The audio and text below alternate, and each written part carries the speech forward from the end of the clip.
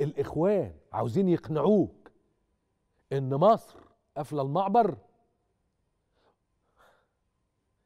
لا مؤاخذة هو أهالينا في فلسطين بياكلوا منين؟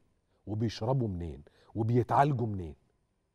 ما تقول لي يعني أنا عايز هذا يعني الانسان الكائن المخلوق لأنه مخلوق من مخلوقات الله يقول لي كده.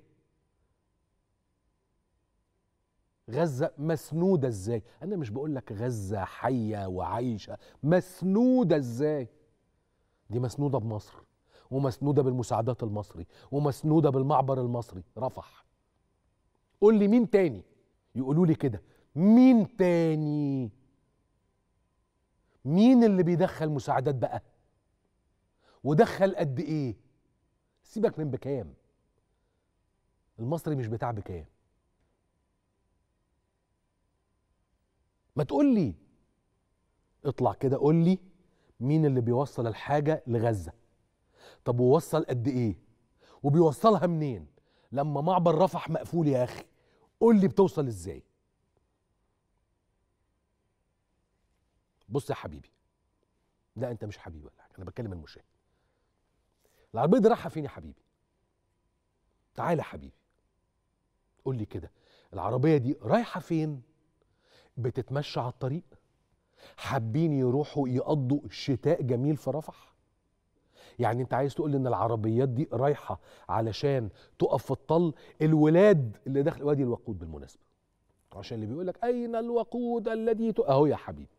أدي التانك بتاع الوقود أدي شاحنة واثنين وثلاثه وأربعة ماشيين علشان ينقلوا هذا الوقود إلى قطاع غزة. لأهالينا تاني دول مش الأشقاء دول مش الأصدقاء. أهو. ده جوه. اللي انت شايفه ده جوه. يا نهار أبيض. الصهاينة ضربوا الطريق صلحناه. ضربوا الطريق هناك في فلسطين صلحناه.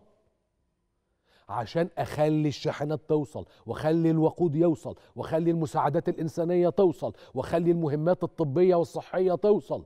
وعلشان أعرف أجيب بالعربيات بتاعتي المصابين والجرحى عشان أعرف أعالجهم هنا. أنا عايز أعرف إيه اللي في الذهن حقيقي بجد يدعو إن واحد بس يصدق كلام شوية عيال سفيهة وتافهة. ما شفناش حاجة. بتصدقهم على خلفية الايه يعني إيه اللي قالوه لك قبل كده صح؟ طب وعملوا لك إيه جيد علشان تصدق؟ هتيجي تقول يوسف مش كلنا بنصدق هقول لك صح. بس ده لعب في الدماغ. وأنا شغلتي إن أنا أقول لك الحق. وأقول لك الحقيقة. وشغلتي إنه أنا وزمايلي نروح نشوف زي إمبارح كده. إحنا ما كناش بس رايحين لأجل الدعم الأدبي والمعنوي والنفسي لاهالينا اللي موجودين هناك في المستشفى بل أيضا علشان نشوف بنفسنا اللي بيجرى في رفح ليس كان بسبب أو بدافع التشكك اطلاقا. لكن بدافع اليقين والإلهام إن أنا أبقى شايف وعارف أنا دايما أقول لك إيه ليس من سمع كمن رأى. تعرف يعني إيه بلد في ظل أزمتين اقتصاديتين متتاليتين كاسحتين ماحقتين ما بين الكورونا وصولا أو بداية من الكورونا وصولا إلى الحرب الروسية الأوكرانية. لا ده مرورا إلى الحرب الروسية الأوكرانية وصولا إلى الحرب اللي دايرة دلوقتي في غزة. والاشتباك الدائم اللي موجود في السودان وعدم الاستقرار الدائم اللي موجود للأسف في ليبيا. انت عارف يعني إيه؟ دولة محاطة بكل ده ومعرضة لهذه أو لنواتج هذه الأزمات الاقتصادية العالمية وبرضه بتشتغل. وبرضه بتساعد. لا برضه بتساعد مين؟ ده هي اللي بتساعد مش برضه يعني مش برضه ومعاها الرفقة. ده هي اللي بتساعد. ده تعيش مصر وتعيش مليون مليون مرة ويعيش كل مصري. تعيش تعيش. لأنه كل ده من حضراتكم. مش حضراتكم اللي بتقوموا بالتطوع. يعني الولاد والبنات اللي موجودين هناك دول اللي سايبين كل حياتهم وقاعدين على المعبر بقالهم 39 يوم. آه لا مش ال 26 بس ده الولاد دول بدأوا يتحركوا من بدري علشان في جزء قاعد في المحافظات وفي المدن الكبرى قاعد بيتلقى التبرعات وبيجمعوا الحاجة على طول. على طول ال 39 يوم كانوا بيشتغلوا بتوع حياة كريمة وبتوع التحالف الوطني قاعدين بيشتغلوا وبيلموا الحاجات وبيعدوا وبيشتروا وبيتلقوا التبرعات الخ الخ الخ والحاجات العينية وهكذا.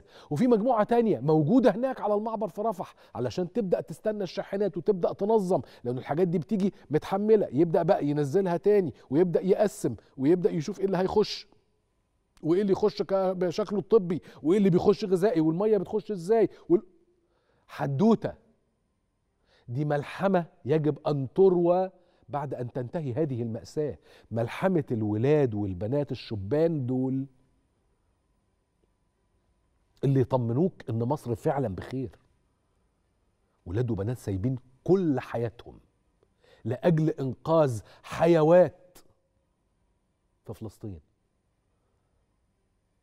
ولاد وبنات سايبين كل دنيتهم عشان ينقذوا اتنين ونص مليون فلسطيني. قول لي مين تاني بيعمل كده غيرنا؟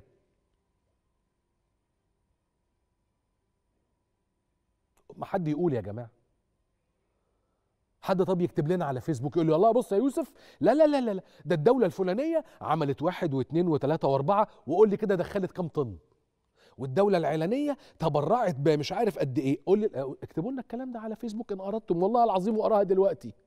طب أنا عندي سؤال. هو الإخوان المسلمين والتنظيم الدولي للإخوان عمل إيه لفلسطين؟ لا أنا مش بقول لك تاريخيا. سيبك من التاريخ. هعتبره ما حصلش. أنا بسأل بس. إحنا من يوم 7 أكتوبر لحد دلوقتي ماذا قدم تنظيم الإخوان الإرهابي للقضية الفلسطينية في ال 39 يوم دول؟ ماذا قدم لأهالي غزة في ال 39 يوم دول؟